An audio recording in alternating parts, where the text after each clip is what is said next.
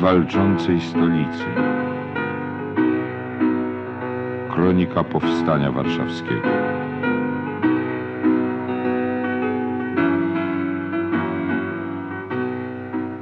Wtorek 1 sierpnia 1944 roku. Powstania dzień pierwszy. Łączniczki alarmowe przejęły rozkaz pułkownika Montera 1 sierpnia o godzinie 7 rano i ruszyły na miasto. Od rana krążyły również po mieście patrole policji niemieckiej, piesze i na samochodach opancerzonych. Megafony, zwane szczekaczkami, odzywały się rzadko. Prasy hitlerowskiej nie było już drugi dzień. Jedynym źródłem wiadomości pozostawały więc wydawnictwa i rozkazy podziemia. We wczesnych godzinach południowych kilka tysięcy osób w Warszawie zajętych było przekazywaniem rozkazu o godzinie W, przenoszeniem broni i amunicji. Odczuwalne na ulicach podniecenie nadaje miastu wygląd jak gdyby odmłodzony. Nadal piękna pogoda, świeci słońce. Codzienny biuletyn radiowy AR, kolportowany 1 sierpnia przed południem, ogłosił jeszcze, jak podano na prośbę miarodajnych czynników, ostrzeżenie następującej treści. W ostatnich dniach zdarzył się na terenie Warszawy szereg wypadków lekceważenia sobie środków ostrożności w stosunku do okupanta. Lekkomyślność ta pociągnęła za sobą wiele niepotrzebnych i bolesnych ofiar.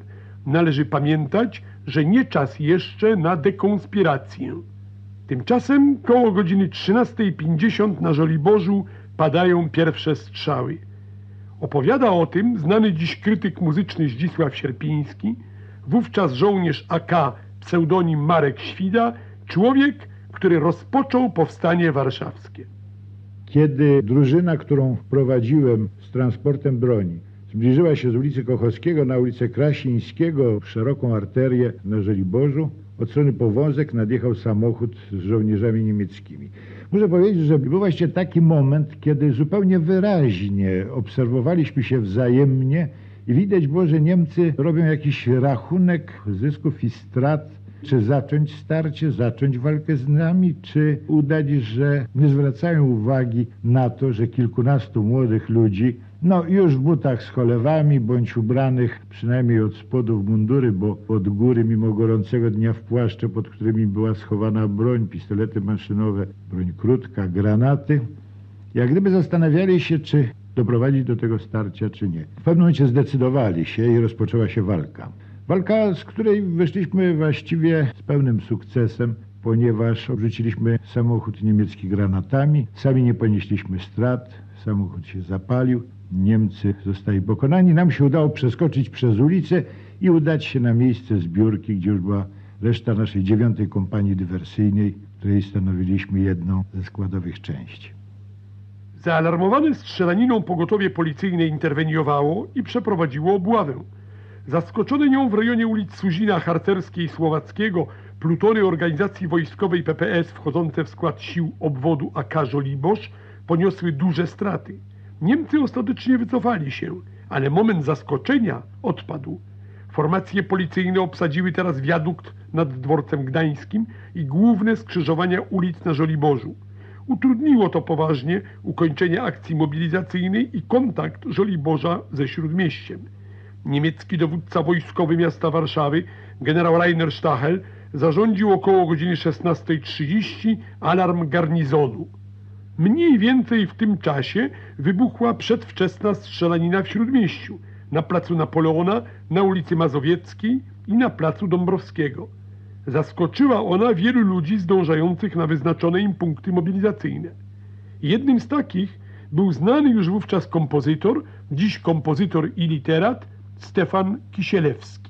W czasie okupacji jako przedwojenny pracownik Polskiego Radia pracowałem w grupie radiowej przy delegaturze rządu. W dniu wybuchu powstania mieliśmy wyznaczone pogotowie, spotkanie lokalu radiowym przy krakowskim przedmieściu 5 w mieszkaniu pani Ponikowskiej. To jest pałacyk, gdzie były pamiątki po Chopinie po wojnie. Pamiętam, że bardzo wcześnie, bo chyba w pół do trzeciej, znalazłem się na placu Napoleona, dzisiaj Plac Powstańców Warszawy, przed pocztą główną, której śladu już nie ma. Masę młodzieży przemykało się wszędzie. Widać było, że mobilizacja jest w toku. Niemców prawie że nie było. Zbliżałem się do Mazowieckiej, kiedy nagle z Mazowieckiej rozległa się salwa strzałów, jedna i druga i tłum uciekający porwał mnie za sobą. Wpadliśmy do jakiejś bramy na Świętokrzyskiej. Byłem ogromnie zdziwiony, wiedząc, że jest jeszcze masę czasu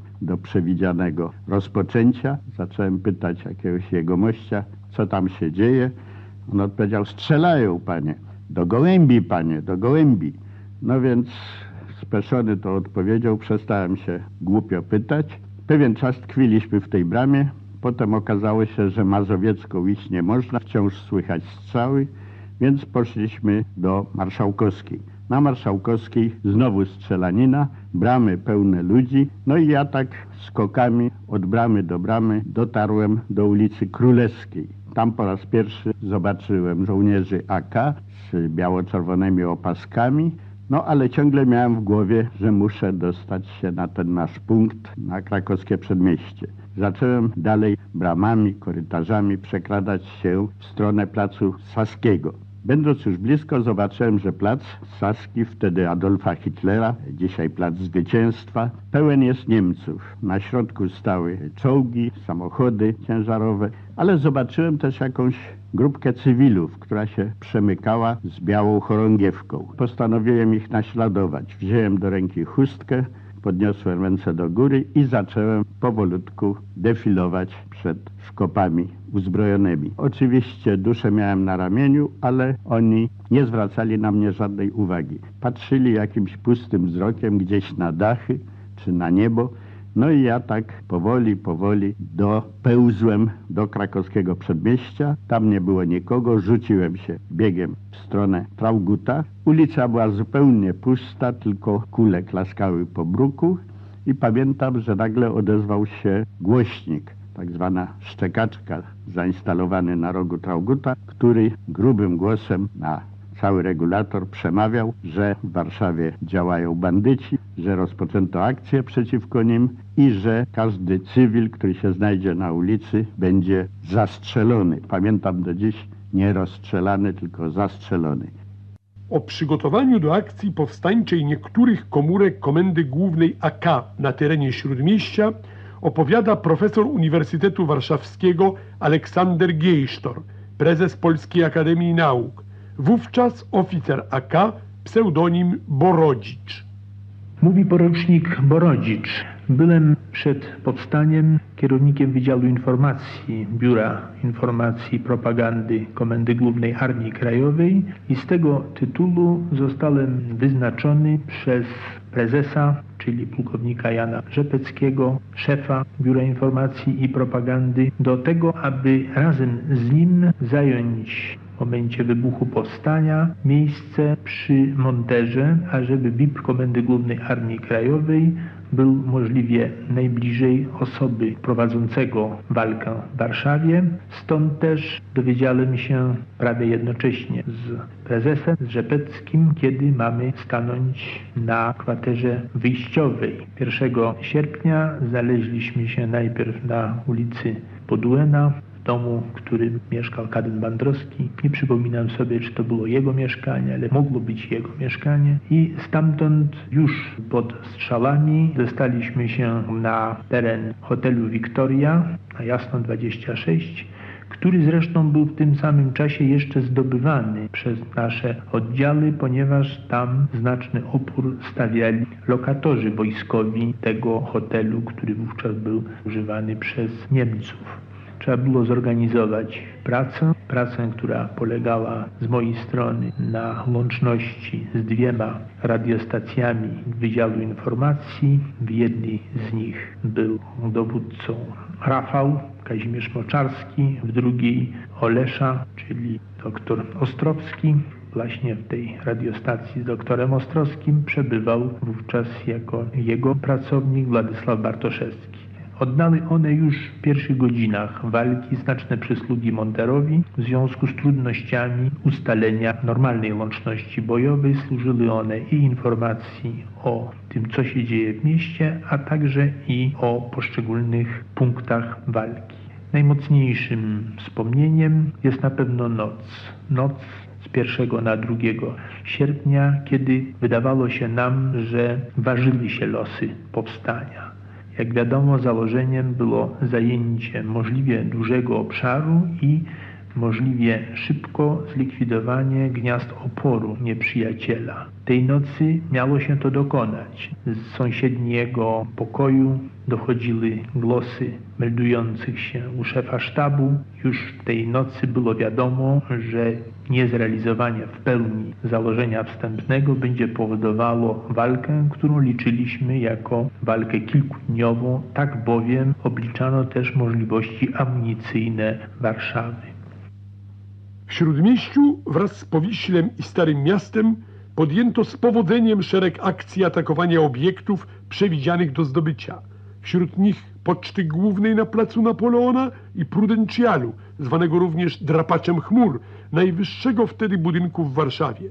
Był widoczny z daleka, także z odległych przedmieść. To też fakt, że już w pierwszych godzinach powstania powiała na jego dachu flaga biało-czerwona miał doniosłe znaczenie psychologiczne i moralne dla ludności. Zdobyto też i zabezpieczono budynki elektrowni na Wybrzeżu Kościuszkowskim wraz z rozległym zapleczem, co miało dla całego miasta ogromne znaczenie. Załamał się jednak szturm na plac zamkowy, nie opanowano mostów Kierbedzia i Poniatowskiego. Zawiodły również całkowicie opłacone poważnymi ofiarami natarcia w rejonie tzw. dzielnicy policyjnej Alei Szucha, Placu Zbawiciela i Placu Unii Lubelskiej. Na Ochocie nie powiódł się szturm na koszary policji niemieckiej w domu akademickim na placu Narutowicza i na kilka innych ważnych obiektów. Był to więc dla całej tej dzielnicy bilans zdecydowanie ujemny. Na Mokotowie nie zdołano opanować linii ulicy Rakowieckiej, nie powiódł się atak na pole wyścigowe na Służewcu i na koszary w szkole przy ulicy Woronicza 8. Na Okęciu odwołany został w ostatniej chwili koncentryczny atak na tereny lotniska.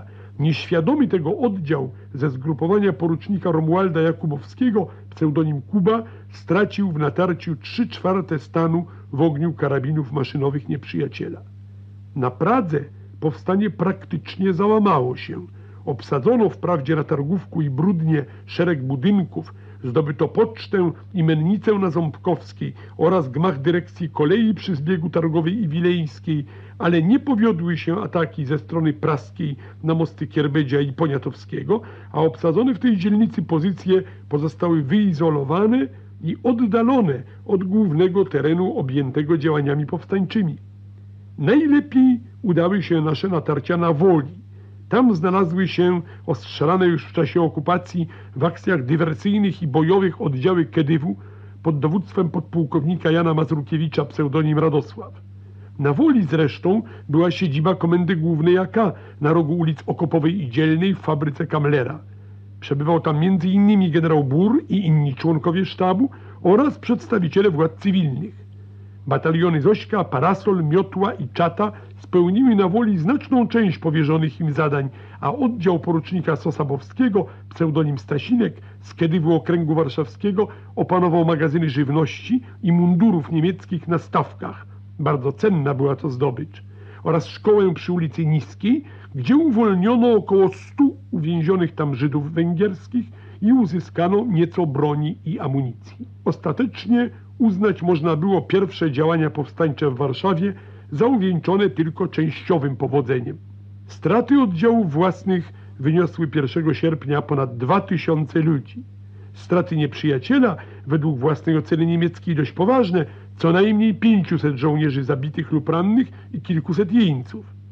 O godzinie 23 rozpoczęła się w Skierniewicach narada w sztabie dowódcy 9 Armii Niemieckiej generała wojsk pancernych Nikolausa von Fornana. Do dziennika bojowego 9 Armii wniesiono zapis. Oczekiwane powstanie Polaków Armii Krajowej w Warszawie zaczęło się o godzinie 17. Na obszarze całej Warszawy toczą się walki. bezpośrednia arteria zaopatrzenia 39 Korpusu Pancernego jest przerwana.